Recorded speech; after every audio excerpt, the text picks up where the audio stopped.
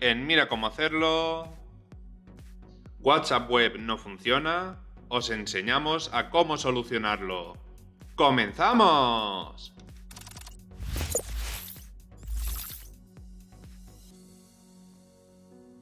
WhatsApp Web es una herramienta fundamental en la cual podemos utilizar WhatsApp en nuestro ordenador sin necesidad de estar utilizando cada 2x3 en nuestro smartphone eh, la aplicación WhatsApp y así poder ahorrar batería.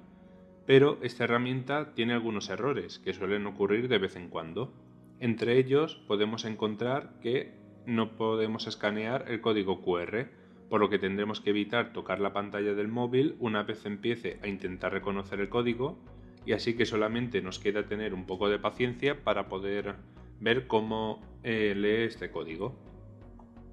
En, ah, en otra situación podremos encontrar que WhatsApp Web nos queda cargando de manera indefinida. Para evitar esto solamente tendremos que desbloquear nuestro teléfono con nuestro PIN o huella dactilar, eh, desbloqueo facial, etc. Y en la mayoría de los casos el problema se solucionará. También tenemos que tener en cuenta que existen muchos navegadores y en algunos de ellos la herramienta no está del todo optimizada, por lo que es recomendable que utilicéis el navegador Google Chrome, donde no suele dar prácticamente ningún error.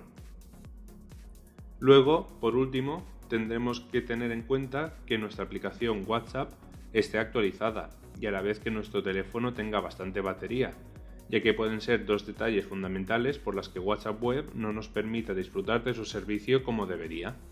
Así que nada, esto ha sido todo.